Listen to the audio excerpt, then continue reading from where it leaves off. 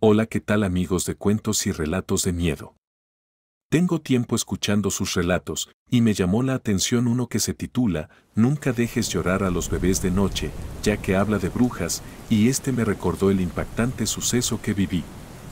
Los dejo con mi relato y espero sea de su agrado. Recuerdo que estaba de vacaciones en casa de mi abuela, cuando escuché por primera vez oír acerca de ellas. Escuché a mis tías hablar sobre las brujas y decían que había una que se quería chupar a uno de mis primitos que tenía pocos días de nacido. Como era costumbre en el campo, en tres habitaciones dormíamos un montón de personas. Yo dormía con tres primitos pequeños en una cama, dos tías mías dormían en otro cuarto con tres niños, y mi abuela dormía con su hija y su bebé recién nacido. Se acostumbraba en esos tiempos que mi abuela cuidara a sus hijas y nietos durante los 40 días del llamado riesgo. Así pasaron los días en el campo, y en una de esas tardes oí a mis tías decir que sentían cosas raras en las noches, que oían una lechuza encima de la casa desde que nació el bebé, contaban que el niño estaba muy delgado, que no ganaba peso y que pensaban que no iba a salir adelante, menos si la bruja que le acechaba seguía molestando. También oí a mi abuela decir, yo sé quién es la que se quiere chupar al niño, si viene hoy a joder, se va a enterar de quién soy yo, que venga, que aquí la estaré esperando.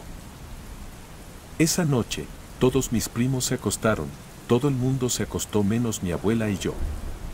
Yo en mi inocencia, lloraba nerviosa y le decía a mi abuela que no quería que viniera la bruja a comerse a mi primito, que era muy bonito y no quería que se muriera.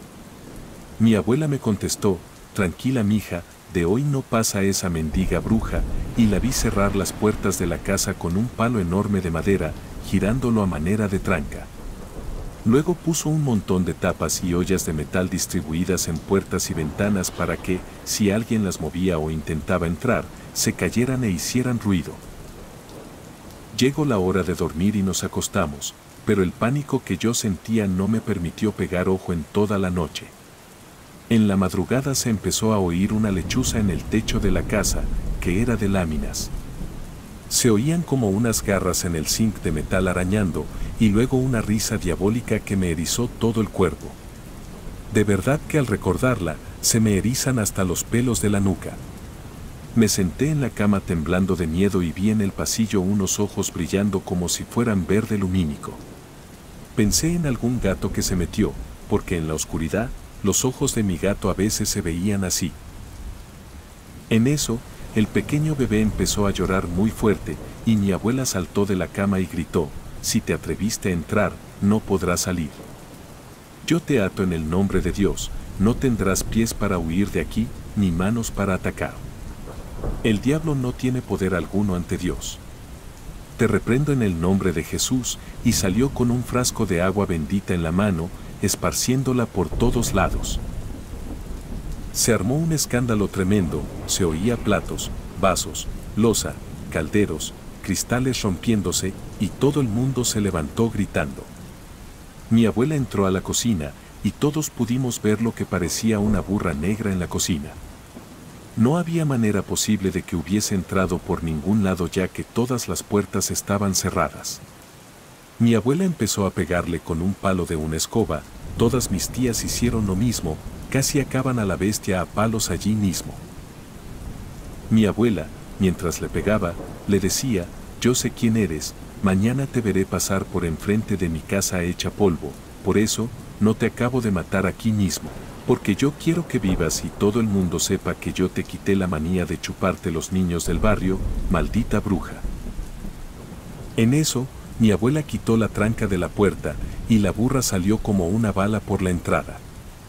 Al día siguiente, como mi abuela había dicho, vio cómo bajaban entre dos hombres en una hamaca a una señora que vivía a una cuadra de la casa. Ellos la llevaban al dispensario médico. La mujer estaba llena de heridas, molida a palos literalmente. Justo en el momento que pasaban frente a mi abuela, ella dijo, paren por favor, ellos pararon, y ella miró a mi abuela con odio. Mi abuela sonriendo le dijo, mi comadre, ¿y qué le pasó? Y la señora dijo, usted lo sabe mejor que nadie mi comadre. Por favor, no se lo diga a nadie, por Dios, le juro que no lo vuelvo a hacer. Y tengo ese recuerdo vivo en mi mente como si hubiera sido ayer. Ustedes crean o no, eso lo vi yo con estos ojos que gusanos se han de comer algún día. Bendiciones. Amigos de cuentos y relatos de miedo, deseamos expresar nuestra profunda gratitud por el constante respaldo que han brindado a nuestro canal.